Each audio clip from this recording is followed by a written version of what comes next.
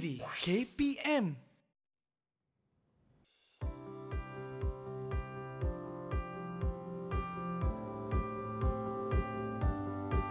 Ha, rindunya kalau dapat pergi ke sekolah macam dulu-dulu kala. Yelah mana tidaknya kalau kat sekolah tu dapat jumpa cikgu, dapat jumpa kawan-kawan, dapat jumpa makcik kantin. Tapi sekarang ni belajar secara online ni, hmm, duduk je lah kat rumah. Hmm, dengan kawan-kawan pun tak boleh nak berbual dah Assalamualaikum. sekarang. Sukses dah mula ke? Waalaikumsalam. Dah mula lah cikgu. Saya tunggu cikgu Oh, tadi. Dah lama ke tunggu? Dah lama juga Okey. tunggu cikgu. Apa yang Aiman Ah. sedang buat ni? Saya tengah tengok ada dulu uh, apa uh, dua gambar ni cikgu. Baik. Gambar pembelajaran orang dulu dan sekarang ni cikgu. Apa yang Aiman nampak dalam gambar yang dahulu dan gambar yang kini? Gambar dulu ni cikgu yang paling saya nampak sekali ada papan hitam ni susah nak pandang cikgu. Betul. Tapi sekarang ni menggunakan komputer. Ada beza ke cikgu di antara kedua-dua ni cikgu? Oh, betul Man. Kalau kita tengok pun memang dah ada beza. Mhm. Mm-hmm. Dahulu kita tengok uh, berada dalam kelas menggunakan papan hitam. Mhm. Mm-hmm. Sekarang berada di rumah dalam talian menggunakan komputer masing-masing. Tapi apa kaitan dia dengan topik kita? Ha. Perubahan. Oh. Ini kita panggil perubahan dalam pedagogi pendidikan. Mhm. Dan tajuk kita pada hari ini berkaitan dengan perubahan dalam bidang pendidikan itu sendiri. Oh, macam tu cikgu eh? Betul. Jadi kepada murid-murid, penonton-penonton di rumah, nak tahu apakah perbezaan sistem pendidikan yang ada di Malaysia sekarang ini? Ha, kekal bersama dengan Cikgu Daniel dan jom kita saksikan profil guru kita pada hari ini.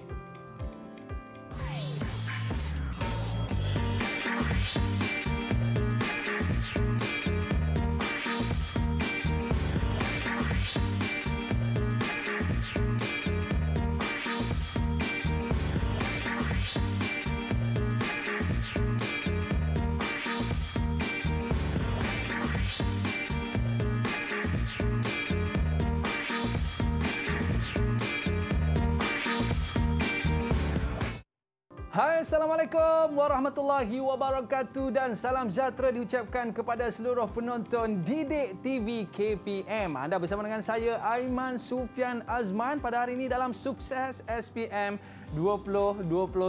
Apa khabar adik-adik sekalian? Apa khabar penonton-penonton sekalian?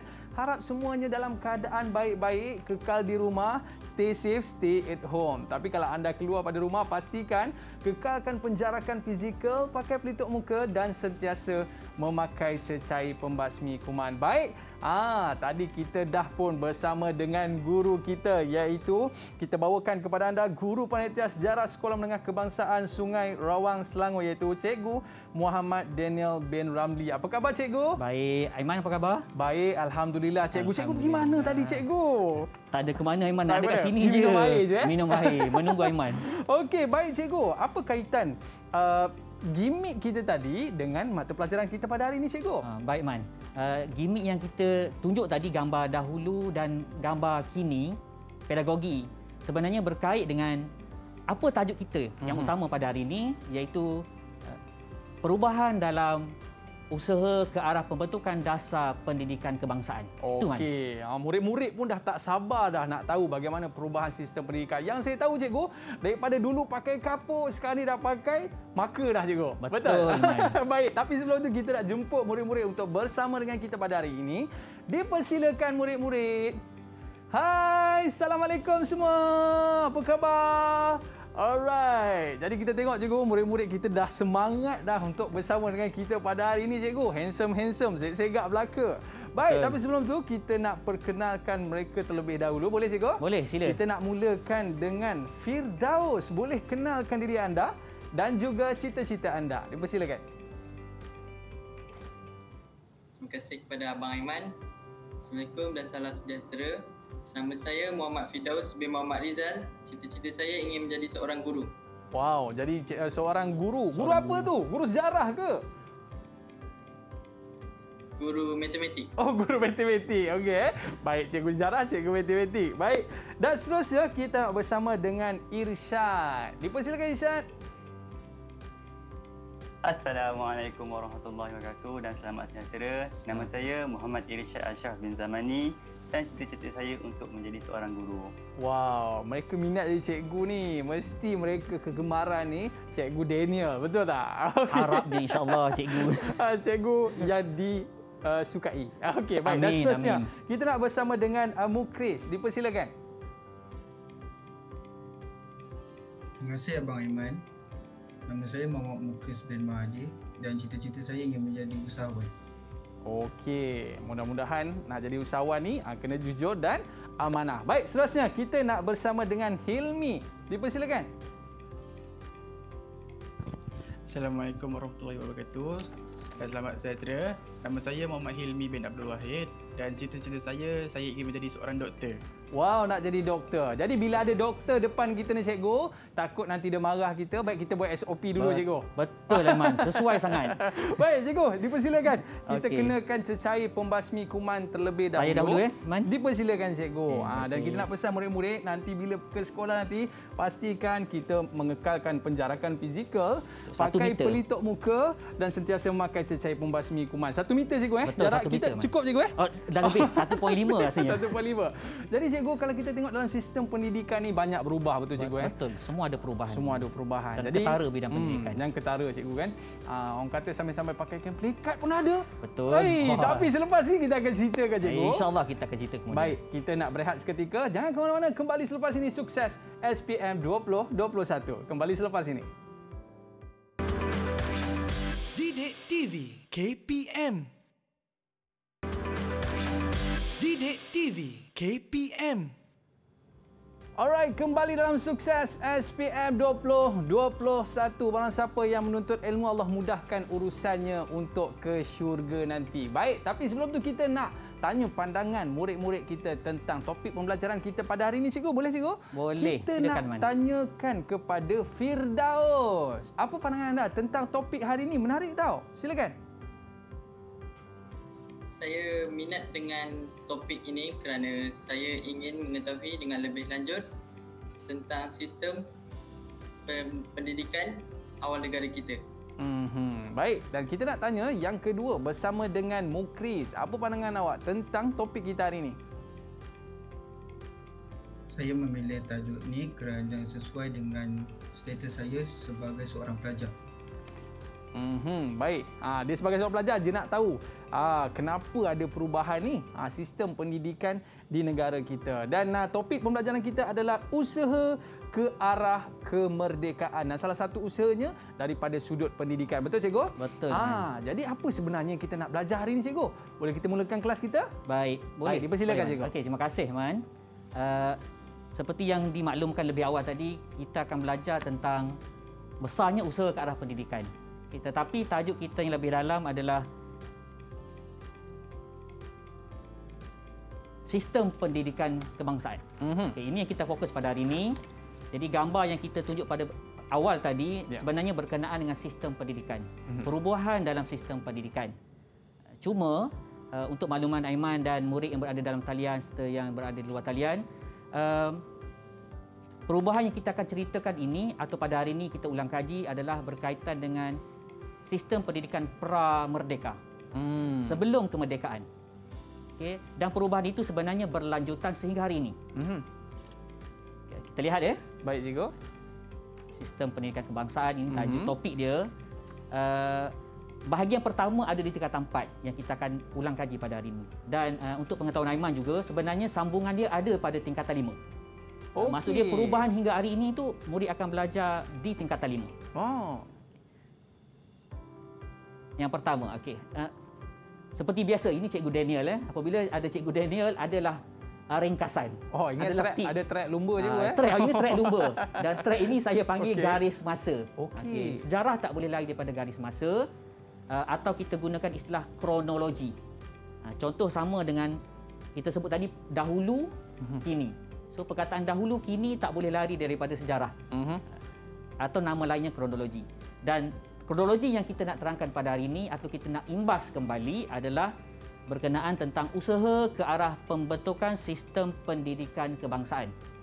Okey, seperti yang Aiman dapat lihat dan murid-murid yang berada dalam talian dan di luar talian dapat lihat, ada lima hentian sebenarnya di sini ya. Dan lima hentian ini melibatkan pergerakan tahun. Hmm. Sebab tu saya gunakan track atau kita panggil garis masa perubahan. Mhm. Okay, yang pertama, Mhm. kita lihat pada laporan Barnes 1951. Uh, untuk pengetahuan Aiman juga uh, dan murid-murid serta calon SPM yang berada di luar sana, uh, tahun ini bukan merupakan keperluan utama uh-huh. untuk murid-murid hafal. Okey. Sebab itu kita biasa dengar sebelum ini uh, murid-murid akan cakap, "Cikgu, susahlah nak ingat sejarah. Hafal uh-huh. tahun ke? Hafal tarikh je?" Okey. Kurang tepat pemahaman itu. Okay. Tahun itu adalah bonus, kelebihan. Tetapi kata kunci penting dia, contoh di sini adalah laporan BANS. Laporan hmm. BANS itu adalah markahnya, bukan 1951. Okay. Tahun adalah bonus sahaja. Hmm. Itu untuk pengetahuan uh, kepada Aiman dan murid-murid di luar sana. Eh. Jadi jangan gunakan alasan cikgu kami kena hafal tahun jadi kami tak minat sejarah. Mm-hmm. Takut keliru nombor lah cikgu. Betul.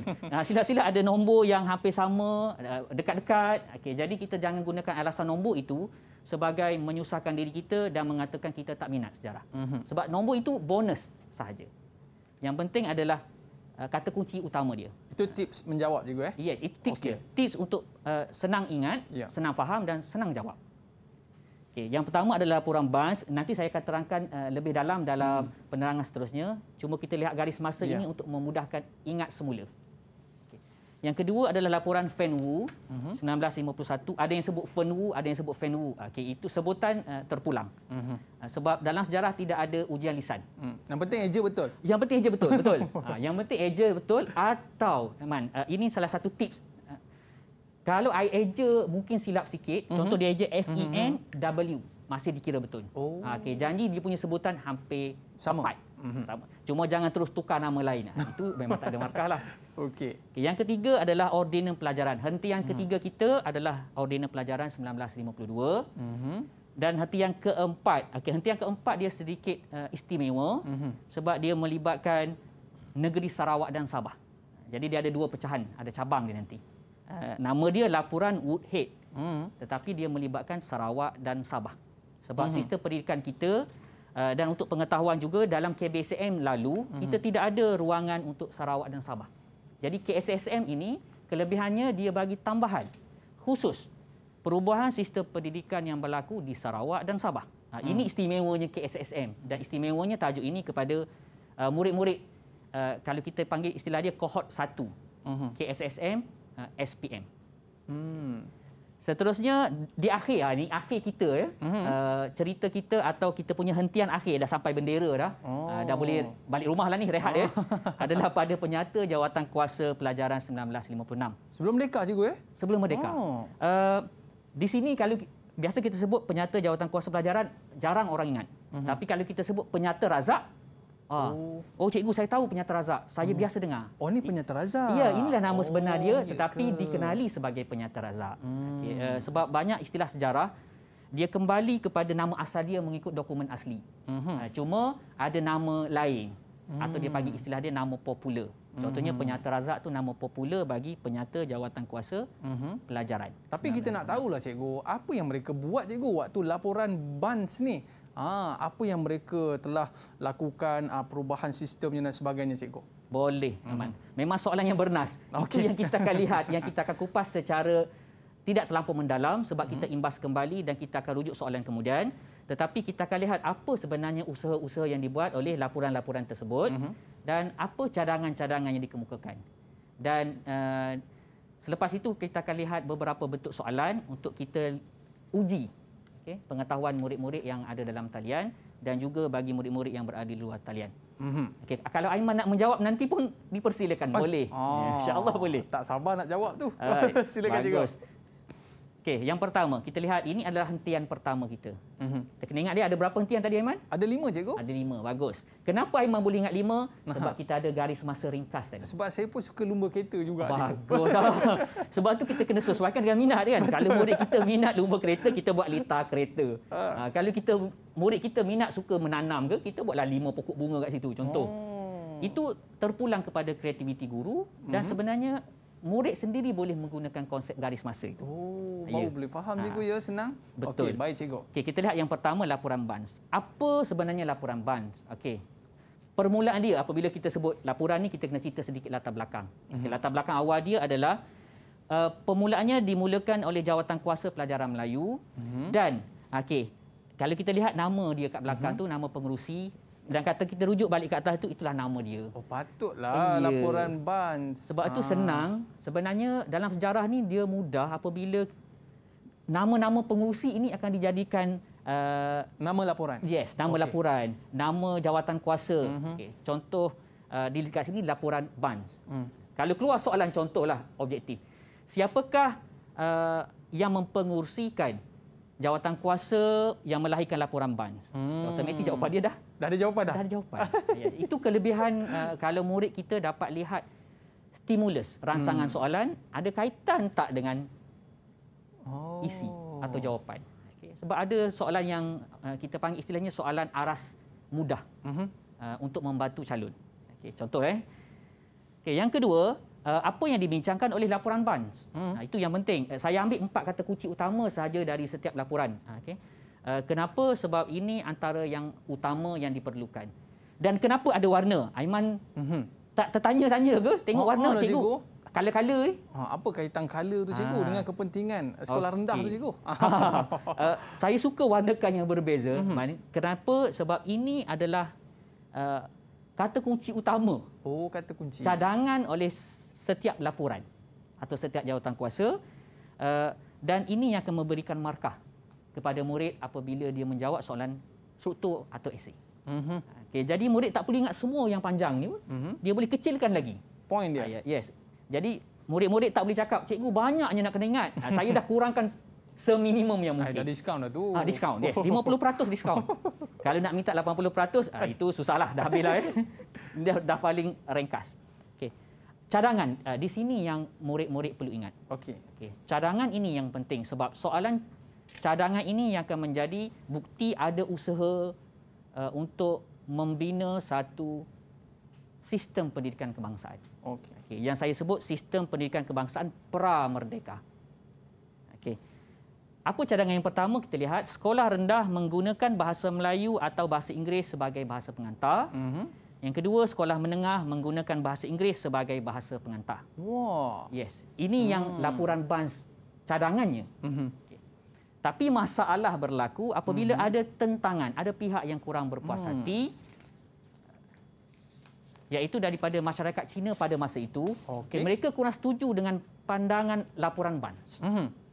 Jadi uh, ada dua orang tokoh ya, Dr. Fern dengan Dr. Wu. Ini dua orang ni. Sebab tu dia buat Oh. uh, palang kat tengah eh. dash Fern. Wu. Dr. Fern, Dr. Wu.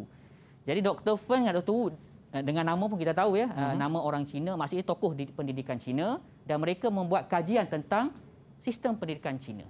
Baik. Dan mereka mencadangkan apa? Cadangan penambahbaikan sekolah Cina sebagai institusi yang memberikan faedah kepada penduduk. Maksudnya sekolah Cina yang dibina oleh uh, tokoh-tokoh. Ketika itu, pada masa itu, sekolah Cina dibiayai oleh saudagar. Eh? Mhm. Okay, saudagar Cina. Jadi, apa yang mereka cadangkan adalah sekolah itu memberi manfaat kepada semua penduduk tanah Melayu. Hmm. Okey. Seterusnya sekolah Cina diteruskan, okay, masih diteruskan tetapi secara berasingan di bawah sistem kebangsaan. Mhm. Sistem kebangsaan tetapi berasingan. Okey. Dan yang ketiga paling penting adalah harus berorientasikan tanah Melayu. Ini cadangan Fern Wu. Okey.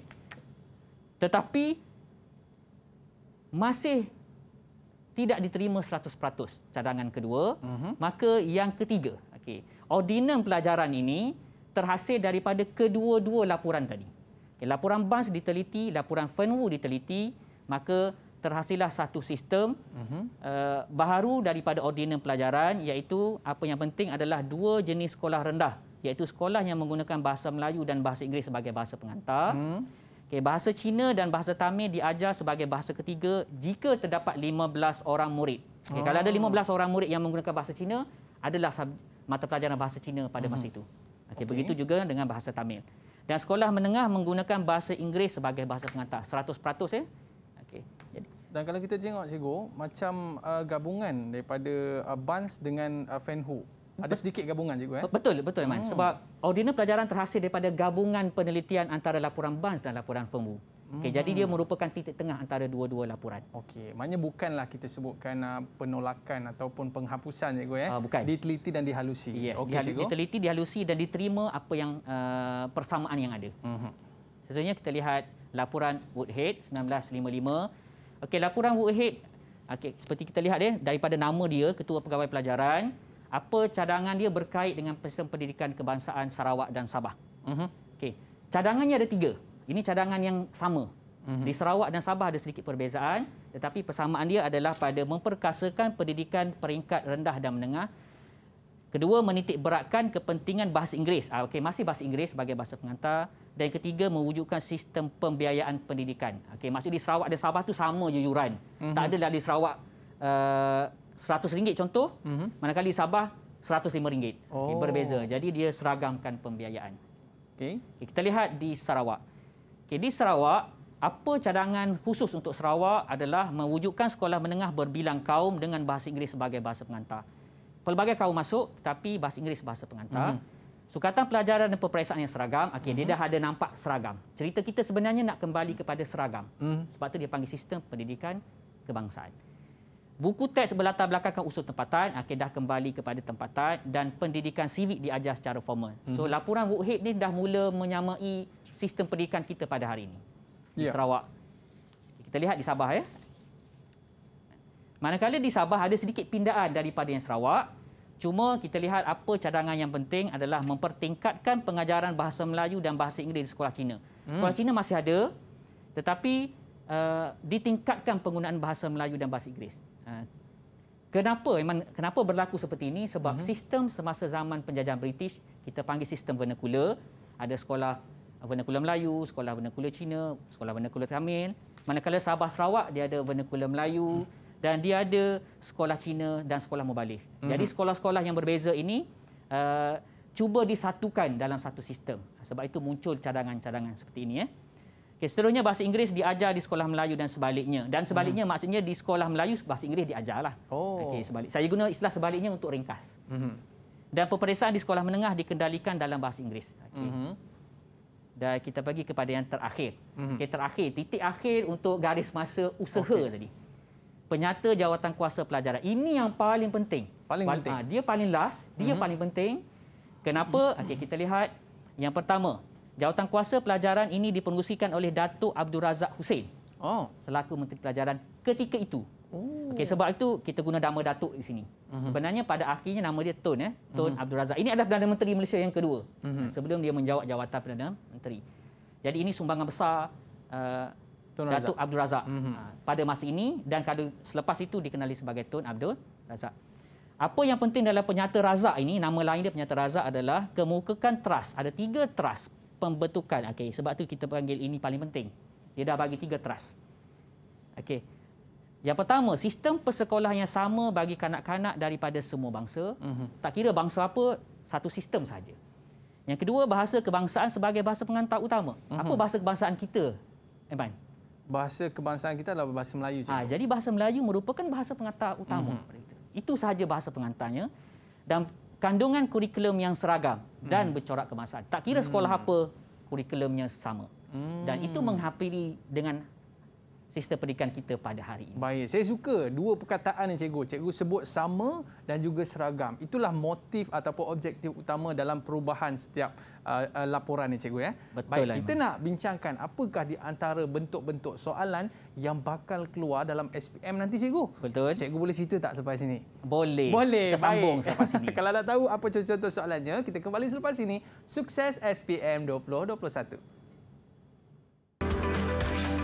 Didik TV KPM Didik TV KPM Alright, kembali dalam sukses SPM 2021. Waktu saya kecil-kecil dulu cikgu eh, darjah satu saya ingat lagi cikgu. Ah, Aiman pergi ambil kapur dekat office. saya lah orang pertama berlari cikgu. Biasa saya akan ambil satu kotak kapur ah, warna putih dan satu kotak lagi warna-warni. Jadi orang kata itulah dah tak ada dah sampai sekarang cikgu ya. Betul. Itu memori. Itu Man. memori. Tapi seronok lah cikgu. Sebab apa? Kalau kawan tidur kat sebelah cikgu, saya ambil yang pemadam cikgu letak kat muka dia. Ai, itulah jadi baca zaman-zaman bedak kan? letak jadi bedak kat muka dia. Baik, dan cikgu, kita nak tengok apa di antara uh, bentuk-bentuk soalan yang akan keluar dalam SPM nanti dan uh, ada berapa kertas ni cikgu?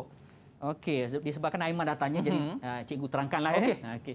Yang pertama, uh, ada dua kertas. Mhm. Kita ada dua kertas. Sebelum ni kita ada tiga kertas. Tapi ini tahun pertama calon SPM yang ada dua kertas saja. Oh. KSSM, eh, kohort 1. Yang pertama adalah kertas 1. Kertas 1 ini adalah kertas objektif, ada 40 soalan. Mhm. Uh, okay, masa dia satu jam sahaja. Dan kertas 2 ada dua bahagian.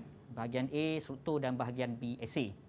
Uh, Masa diberi 2 jam 30 minit. Hmm. Ikut sesuaianlah. Panjang masa disebabkan kaedah menulis jawapannya memerlukan masa yang panjang. Mhm. Cukuplah cikgu ya. InsyaAllah cukup kalau murid-murid gunakan masa seoptimal yang mungkin mm-hmm. seperti yang saya sentiasa terangkan sebelum ini uh, maka murid tidak ada alasan cikgu saya tak cukup masa hmm. jawab. Okey baik cikgu. Kita nak tengok soalan untuk kertas A dulu cikgu.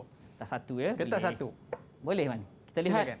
Okey, soalan kertas satu seperti yang saya dah sebut tadi, mm-hmm. seperti Mhm. yang cikgu dah sebutkan tadi, man. Uh, adalah soalan objektif. Okey. Hmm, Uh, okey. So di sini ada beberapa bentuk soalan objektif uh, yang kita cuba uh, paparkan. Mhm. Okey. Tak boleh cakap soalan ini akan keluar dalam SPM.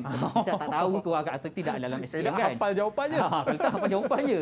Okey. Cuma format ini. Mhm. Okay, ini adalah format yang biasa ditanya dalam SPM sebelum ini dan insya-Allah kalau ditanya kalau keluar alhamdulillah kalau tak keluar sebagai ilmu atau pengetahuan semasa. Ha, kalau keluar rezeki. Ah, keluar rezeki. Okey. Okey. Kita lihat ada ini soalan pertama ya. Saya Baik. bacakan soalan dahulu. Okey, yang pertama apakah ciri sistem persekolahan vernakular? Mhm. Ada empat pilihan jawapan. A. Sekolah kaum peribumi. B. Pendidikan tidak formal. C. Pendidikan zaman penjajahan. Dan D. Berlainan bahasa pengantar. Mhm. Okey, Man. Saya rasa kita boleh pilih murid yang berada dalam talian untuk Ah. bagi jawapan yang sesuai. Oi, saya tengok murid kita dah bersedia maklumlah cikgu ramai ni, doktor pun ada. Ha, kita nak tengok macam mana cikgu dengan doktor jawab ni. Silakan. Mana satu nak mulakan ni? Boleh angkat tangan dan sebut nama. Saya. Ah, Okey, kita bersama dengan Helmi. Silakan. Nombor satu, apakah ciri sistem persekolahan vernacular? Jawapan saya D. Berlainan bahasa penghantar. Mhm, betul ke cikgu? Okey, kita lihat jawapan. Uh, Hilmi memilih jawapan D. Berlainan bahasa pengantar ya. Mhm. Kita lihat dulu jawapan dia betul atau salah. Bagus. Jawapan dia D. Jawapan Tepat dia ya? D. Tapi kita Berlainan nak tanya bahasa. dia cikgu. Okey, sila, Kenapa kita dia tak pilih A? Kenapa dia tak pilih B? Kenapa dia tak pilih C? Oh, silakan. Uh, A. Salah kerana sekolah vernacular dibangunkan oleh pelbagai kaum yang berbeza. Mhm. B. B. Salah kerana pendidikan vernacular adalah pendidikan formal. C pula betul tapi kurang tepat. Hmm. Okey, Aman. Saya respon soalan jawapan Ya. ya. Hilmi yang C. Mhm. Dalam jawapan objektif sejarah, ini sedikit uh, kerisauan kami, guru-guru sejarah. Sebab dia ada contoh ya, A, B mungkin kita boleh kata dah salah. Mhm. Tetapi dia mungkin ada satu jawapan yang betul tetapi kurang tepat. Oh. Dan dia nak jawapan yang paling tepat. Itu pengacau nama cikgu. Pengacau, betul. Aduh. Okey. Faktor pengganggu. Ini yang yang apabila murid-murid yang baca sekali baca je, ah, dia dia mungkin ingat-ingat lupa. Dia bagilah jawapan C. Mhm. Walaupun jawapan tepatnya D. Okey. Okey, kita lihat soalan yang Baik cikgu. kedua ya. Okay, soalan kedua, sistem pendidikan. Okey, dia boleh keluar stimulus macam ini. Contoh sistem pendidikan yang wujud pada uh, zaman penjajahan British sekitar tahun 1951 ya adalah sekolah vernakular Melayu, sekolah vernakular Cina dan sekolah vernakular Tamil. Mhm. So, ada tiga jenis seperti yang saya dah sebut sebentar tadi. Soalan dia dia boleh tanya soalan ini soalan berbentuk kebat. Okey. Hebat dalam soalan objektif. Kemahiran berfikir aras tinggi. Apakah implikasi atau nama nama biasanya kesan? Mm-hmm. Nak bagi nampak nama dia hebat sikit jadi implikasi. implikasi. Itu dari sudut bahasa saja. Kesan cikgu eh. kesan sebenarnya. Apakah kesan daripada sistem pendidikan di atas? Mhm. Okay. A. Sukatan pelajaran dia selaras. B. Jurang ekonomi dan sosial. C. Pegawai kerajaan bertambah. Dan D. Pengurusan tenaga pengajar mudah. Okey, yang ini kita nak pilih dulu ke Aiman nak cuba jawab dahulu? Oi, kalau saya cikgu sebab saya tengok dekat situ implikasi ni dia kesan kepada sistem pendidikan di atas ni mungkin uh, jurang ekonomi dan sosial lah cikgu. Jurang ekonomi dan sosial. Okey, itu jawapan Aiman. Kita kunci dahulu Kita ya. kunci dulu. Ah, kita kunci dahulu. Betul ke tidak tu? Ah, betul ke tidak kita tunggu. Aha. Kita lihat murid yang nak jawab. Okey. Okey, silakan. Siapa nak cuba boleh angkat tangan? Ah, right. Kita bersama dengan Mukri. Silakan. Hmm, jawapan saya sama macam Abang Aiman iaitu B. Jurang Ha, ekonomi kita dan geng, ha? sosial. Okey. Sama. Okey. Tapi kita lihat betul atau tak eh? Kita buka balik kunci yang Aiman kunci tadi. Okey. Jurang ekonomi dan sosial. Betul atau salah? Alamak. Ah, kan? Pandai. Memang calon A SPM. Memang Eh, kalau ambil balik ya. SPM. Okey. Jawapan dia adalah jurang ekonomi dan sosial. Hmm. Kenapa? Okey, kita lihat A adalah sukatan pelajarannya berbeza. Jadi tak samalah jawapannya salah. Selaras berbeza ya. C pegawai kerajaan bertambah. Ini tiada kaitan dengan tajuk ini pun. Yang D adalah pengurusan tenaga pengajar mudah. Sebenarnya makin sukar sebab mm-hmm. sekolah yang berbeza memerlukan tenaga belajar yang yang berbeza, mahir dalam mata pelajaran yang berbeza, menggunakan bahasa yang berbeza. Okey. Okey, jadi jawapan D memang salah, C tiada kaitan dengan tajuk pun mm-hmm. dan A uh, berbeza jawapan. Hmm. So sebab itu jawapan B uh, yang paling tepat. Hmm, Ada markah ke untuk saya cikgu? Ha. Tak markah tu. Satu markah. Satu markah. Okey, bolehlah cikgu. Tapi Seterusnya, Man, masalah sekarang Mhm. satu markah dia akan bahagi lagi. bagi lagi. Yes, uh, itu yang masalah. Jadi lebih kurang 0.7% sahaja Ah. untuk satu markah kita betul. Eh tapi kalau markah 69 cikgu bahagia juga markah Ah, tu. ya, itu, Nak tambah jadi 70. Betul. Ha, itu yang penting. Kita kena fikir positif dia. Okey, baik cikgu. Okay, kita lihat soalan yang ketiga. Okey, soalan ketiga. Ini berkait dengan laporan Barnes tadi. Masyarakat Cina membantah laporan Barnes 1951. Apakah tindakan masyarakat Cina? Okey, ini apa yang dibuat ya? Yang pertama, A, mengadakan demonstrasi. B, menghantar bantahan rasmi. C, mengubah suai laporan Barnes dan D, mengeluarkan laporan Fenwu. Okey. Okey. Kita jemput murid eh. Silakan. Siapa pula nak cuba ni? Ah. Fidaus ke? Ah, Okey, silakan. Masyarakat Cina membantah laporan BANS 1951. Apakah tindakan masyarakat Cina? Jawapan saya D. Mengeluarkan laporan Fenwu. Hmm. Okey, uh, mungkin Firdaus pilih sebab ada nama kot nama macam orang Cina kan, Fan Wu. ada juga calon yang macam tu ya, tapi Kalau bagus. teka je, eh? Ha, Ha. kalau dia teka dah berkait kan Ha. sebenarnya. ha, tapi uh, kalau lebih tahu, belajar tahu itu lebih baik ya. Okey. Kita lihat betul atau tak? Okey, Oh, betul lah. tepat tadi- sekali. Sebab tadi pun saya dah sebut semasa ulang kaji kita ya. Mhm. Uh, Okey, yang kenapa yang lain kurang tepat dan tiada kaitan. Okey. Okey, Kita lihat soalan yang keempat. Apakah cadangan laporan Woodhead 1955 bagi sistem pendidikan kebangsaan di Sarawak dan uh, Sabah? Mhm. Okey. Uh, siapa yang nak cuba ini? Okey, Irsyad. Okay, sila Irsyad. Jawapan saya A. Mengutamakan bahasa Inggeris. Okay, mengutamakan bahasa Inggeris. Kata kunci yang Woodhead tadi, apabila walaupun melibatkan Sarawak dan Sabah, kata kuncinya pada bahasa Inggeris, Man. Mhm. Okey, sebab tadi saya dah tunjuk slide ya. Bahasa Inggeris. Jadi, betul lah jawapan Irsyad. Dan kita pergi soalan objektif yang terakhir ya. Mhm. Okey, penyata jawatan kuasa pelajaran 1956 menyatakan dua teras penting dalam pendidikan untuk membentuk perpaduan kaum. Apakah kedua-dua teras penting tersebut? Okey, ini satu contoh aneka lagi ya, aneka pilihan. Satu, kemahiran teknikal. Dua, kandungan kurikulum seragam. Tiga, sistem persekolahan yang sama. Dan empat, kenaikan darjah secara automatik. Oh. Okey. Ha, yang ni kena pilih satu dua, satu empat, dua tiga, dua empat. Mhm. Merujuk kepada uh, pilihan jawapan. Okey. Kita Siapa Okey, yang nak siapa jawab eh? pula nak cuba ni? Ha, dia biasanya soalan kena pilih-pilih ni dia keliru sikit. Okey, Hilmi. Ha, okey, Hilmi cuba. Ah, jawapan saya dua, kandungan kurikulum seragam dan Mhm. tiga, sistem persekolahan sama. Okey. Okey. Uh, seperti Jadi yang saya jawapannya? Mhm. seperti yang saya ulas tadi, yang ni yang terakhir penyata razak eh. Penyata razak menyamai hari ini punya sistem pendidikan kebangsaan Mhm. dan kata kunci dia adalah sama, seragam sama. Oh, Ah, tadi yang macam Iman sebut tadi, seragam sama. Oh. So memang tepatlah jawapannya. Okey, Baik. baik. Okey, ini soalan objektif. Ini bahagian uh, kertas, Kertas satu, cikgu? Yes. Oh, maknanya dalam kertas satu inilah bentuk soalannya, Inilah soalan bentuk objektif. Objektif sahaja. Dan uh, untuk kertas dua pula, cikgu. Baik, kita lihat Ah, eh. macam mana tu? Uh, rasanya Aiman pernah lihat juga sebelum ni eh. Mhm. Uh, cuma saya klik. Okey, ini Oh, contoh okey. kertas dua. Kertas dua bahagian A soalan serotok, empat soalan wajib jawab. Mhm. Uh, ini contoh dia. Okey, kita lihat contoh ya. Sambutan detik pemasyuran kemerdekaan negara dirancang dengan teliti bagi maikan peristiwa yang bersejarah kepada negara kita. Nyatakan dua usaha ke arah pembentukan sistem pendidikan kebangsaan dari tahun 1951 hingga 1956. Mhm. Okey, so soalan yang pertama adalah soalannya dua usaha ke arah pembentukan sistem pendidikan kebangsaan. Mhm. Dua markah je. Okey. Okey, yang kedua, jelaskan usaha ke arah pembentukan sistem pendidikan kebangsaan yang merujuk kepada soalan uh, A di atas tadi. Okey. Okey. Dan apakah yang akan anda lakukan bagi memastikan sistem pendidikan negara dapat berperanan sebagai medium perpaduan utama? Okey, ini soalan kebat. Okey. Kita lihat Boleh cikgu? soalan A ya. Oh. Okey, ini soalan A saya dah pecahkan. Ya, kita cuba jawapan daripada murid. Okey, silakan. Siapa nak cuba? Ha, ini dua markah ni rasanya simple je ni. Okey, Mukris. Silakan.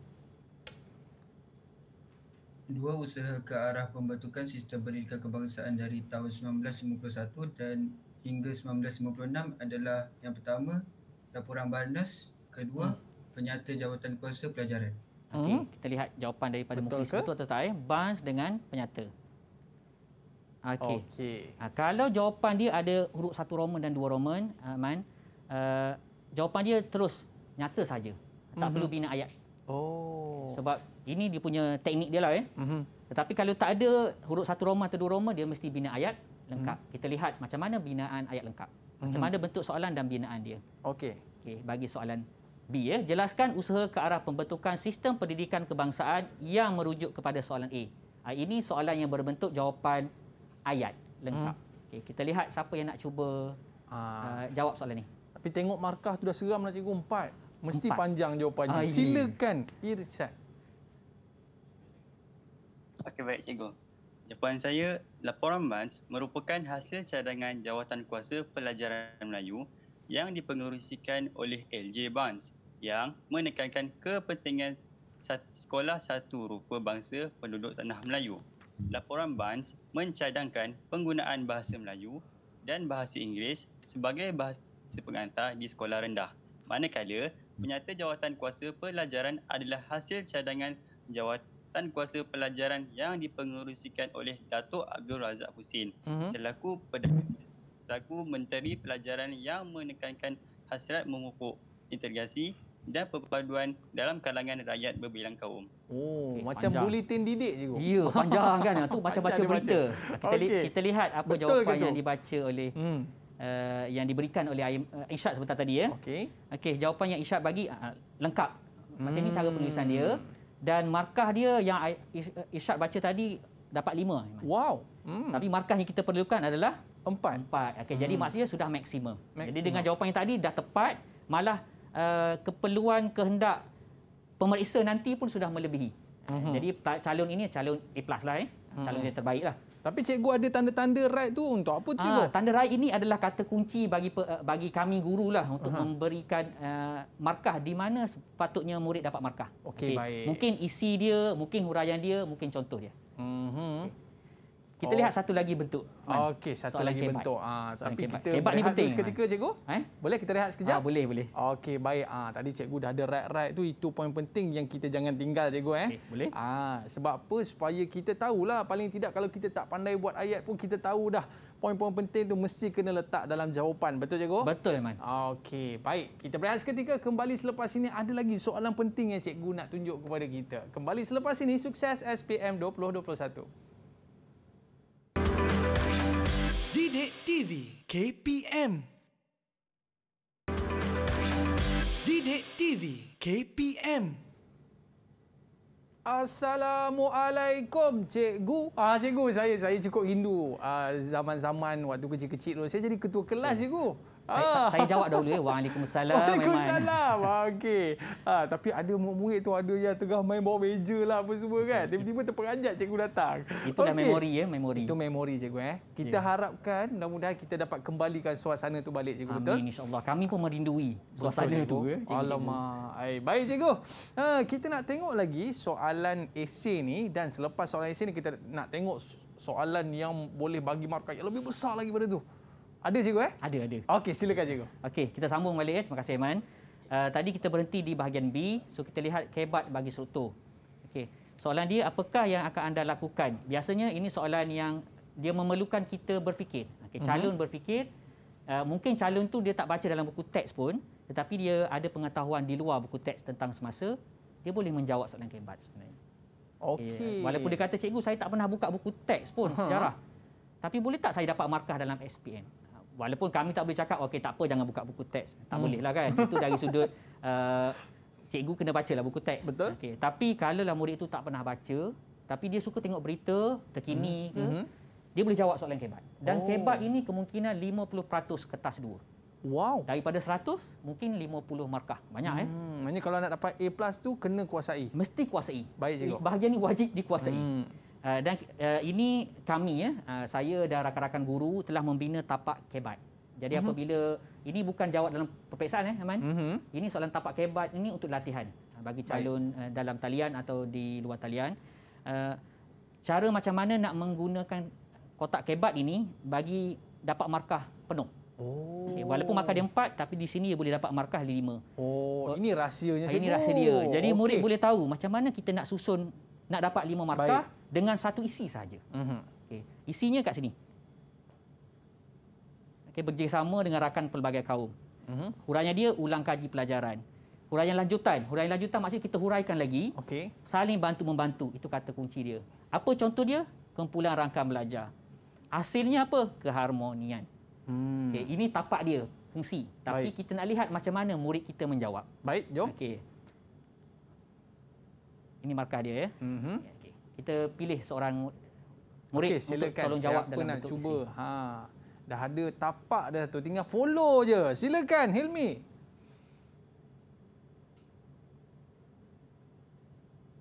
Okey. Boleh Hilmi? Sebagai bakal pemimpin masa depan negara, Apakah yang akan anda lakukan bagi memastikan sistem pendidikan negara dapat berperanan sebagai medium perpaduan yang utama? Mm-hmm. Jawapannya, perkara yang saya akan lakukan bagi memastikan sistem pendidikan negara dapat berperanan sebagai medium perpaduan utama ialah mm-hmm. dengan bekerjasama dengan rakan-rakan sebagai kaum dalam menuntut ilmu.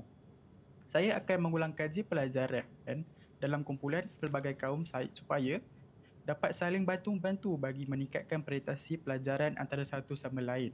Uh-huh. Contohnya, kumpulan rakan belajar yang terdiri daripada murid-murid pelbagai kaum.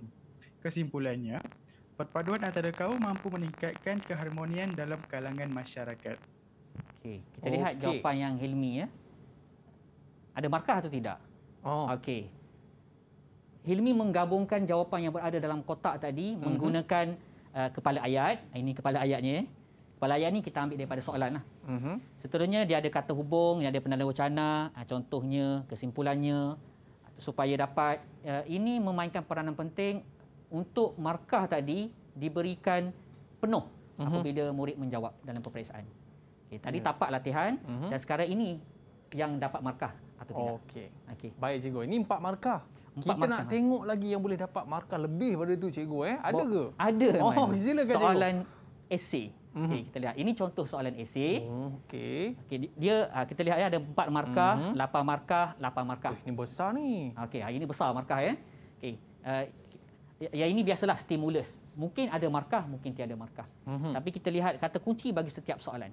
A, contoh terangkan perkembangan sistem pendidikan vernacular di negara kita. Okay, terangkan. Maksud kita ceritalah isi dan contoh dia. Jelaskan usaha yang telah diambil. Okay, usaha yang telah diambil yang tadi. Ada berapa perhentian kita tadi? Hmm, kita ada usaha tadi cikgu eh? Ha, ada berapa hentian dekat garis ada masa? Ada lima cikgu. Ha, ada lima. Jadi uh-huh. murid boleh sebut yang lima tadi kat sini. Uh-huh. Kalau dia ingat lima je, dia tak ingat isi dia, uh-huh. dia dapat lima markah. Uish. Ha, kalau dia boleh ingat isi lagi, uh-huh. satu soal satu hentian tadi, laporan Barnes, uh-huh. dia tulis satu isi di bawah dia, campur semua dapat 10 markah. Tapi cikgu, dalam isi-isi itu ada banyak? Satu, dua, tiga, empat, lima kan? Betul. Cukup satu cikgu? Uh, cukup sebab kita nak lapan markah saja. Oh. Kalau dia boleh ingat lima, lima langkah, dia darab dua lah. Satu isi, satu rayan, uh-huh. so dapat sepuluh markah. Okay. Dah lebih pun. Tapi Faham. kalau contoh calon tersebut, dia ingat dua je langkah. Uh-huh. Tapi setiap langkah tu dia boleh ingat empat isi. Atau okay. tiga isi, campur dapat enam, lapan juga. Okey, faham ha. Okay, jadi bolehlah pelbagai uh-huh. untuk calon. Dan C, jelaskan kepentingan pembentukan sistem pendidikan kebangsaan ini soalan kebat. Okay, kita lihat yang A. Ya. Baik. Terangkan perkembangan. Okey, uh, kita boleh pilih seorang murid lah untuk Okey, siapa nak cuba? Untuk soalan A. Ha, boleh angkat tangan. Ha, siapa nak cuba tu? Okey, Firdaus, silakan. Terangkan perkembangan sistem pendidikan vernacular di negara kita semasa penjajahan British. Jawapan saya, sistem pendidikan vernacular semasa penjajahan British merujuk kepada sistem persekolahan mengikut kaum. Di tanah Melayu, terdapatnya sekolah vernacular Melayu, sekolah vernacular Cina dan sekolah vernacular Tamil. Di samping itu, terdapat sekolah aliran agama dan sekolah Inggeris. Manakala di Sarawak, manakala di Sarawak dan Sabah pula terbahagi kepada sekolah vernacular Melayu, sekolah Cina dan sekolah membalik Kristian. Sekolah vernacular menggunakan bahasa pengantar dan kurikulum yang berlainan. Mhm. Okey, Okey. itu jawapan Firdaus ya, panjang. Ada markah atau tidak? Ha, tengok kita ada lihat. markah ke tidak Kita tu? kunci tadi ya. so kita buka kuncinya. Okey. Okey, apa yang diberi oleh Aiman tadi? Eh, sorry, Aiman Ah. pula Firdaus. Okey, Firdaus. Aiman murid yang bagus. Jadi Oi, ingat nama Aiman. lawak, Okey, Firdaus ya. Enam markah. Maksimum sebenarnya em, Empat. empat. Jadi dengan jawapan yang kita rasa macam ringkas, satu perenggan saja sebenarnya Mhm. Aiman. Tapi boleh dapat enam markah maksimum. Hmm. Jadi maksudnya kalau calon tu tulis pendek sedikit, dia dah dapat empat markah. Cukuplah empat markah. Oh. Baik cikgu. Okey. Sama juga cara penulisan mesti ada kepala ayat, kita ambil balik daripada soalan. Mhm. Lepas tu kita sambunglah menggunakan penada wacana. Hmm. Cuma baik, berbeza soalan A dengan B. Dia fakta dengan soalan kebat, soalan kebat ada kesimpulan. Oh, Okey, itu kebat berbeza. ada kesimpulan. Kesimpulan. Baik, itu rahsia dia. Itu rahsia dia. Okey, baik. Terus cikgu. Okey, kita lihat soalan B. Jelaskan usaha yang diambil. Okey, yang tadi yang cikgu saya sebut ada lima hentian. Okey, kita jemput seorang murid lah untuk bagi contoh jawapan. Okey, silakan. Irsyad. Okay. Jelaskan usaha yang telah diambil untuk melahirkan sistem pendidikan kebangsaan di Tanah Melayu, Sarawak dan Sabah antara tahun 1951 sehingga 1956. Okey, saya cuba ya cikgu. Okey. Jawapan saya, usaha yang diambil untuk melahirkan sistem pendidikan kebangsaan di Tanah Melayu, Sarawak dan Sabah antara tahun 1951 sehingga 1956 ialah penubuhan pertubuhan jawatan kuasa pelajaran Melayu yang dipengerusikan oleh LJ Barnes. Seterusnya, laporan PNU diterbitkan berikutan batahan masyarakat Cina terhadap laporan Barnes. Pada tahun 1952, ordinar pelajaran diluluskan selepas jawatan kuasa penasihat pusat pelajaran meneliti laporan Barnes dan laporan Seterusnya, laporan Woodhead dikeluarkan di Sarawak dengan menitik beratkan kepentingan bahasa Inggeris sebagai bahasa pengantar. Manakala, laporan Woodhead Sabah diterima dengan pindaan. Pada tahun 1956, jawatan kuasa pelajaran yang juga dikenali penyata razak telah dikeluarkan. Mhm. Okey. Macam mana cikgu? uh, ikut yang diberikan Mhm. jawapannya, cadangan jawapan oleh Irsyad, dia dah menyebut kelima-lima. Oh. Okey, jadi dia dah ada lima markah. Mhm. Tapi adakah isi tambahan atau huraian dia Mhm. tepat atau tidak? Kita lihat. Ah, yang penting kelima-lima dah ada. Okey, lima tu dah ada lima Ah, markah dah. Lima dah ada lima markah. Okey. Dan rupanya dia dah ada setiap satu isi, dia bagi satu huraian. Jadi Irsyad sudah dapat 10 markah daripada jawapan tadi. Hmm. Itu yang Okey, 8 baik, markah cikgu. maksimum. Okey. Mhm. Jadi dekat sini kita boleh dapat 8 markah cikgu Lapan eh. markah. Ah, jadi pada saya uh, untuk markah yang besar-besar ni kita kena ambil peluang betul-betul cikgu eh. Betul. Ah, sebab apa? Dengan 8 markah ni cikgu boleh membezakan sama ada kita dapat A ataupun dapat B. Baik cikgu, Betul. kita nak ucapkan terima kasih kepada cikgu Daniel dah cikgu dah terangkan tentang kertas satu dan kertas dua pastikan kita dapat jawab kedua-dua kertas dengan betul cikgu eh. Betul, Yang paling penting kita kena selalu buat latihan. Yes. Baik, kita nak ucap terima kasih kepada Cikgu Daniel dan juga murid kita pada hari ini. Kita ada Isyad, Fidaus, Mukris, Helmi, semuanya pelajar cemerlang dan bakal dapat A+.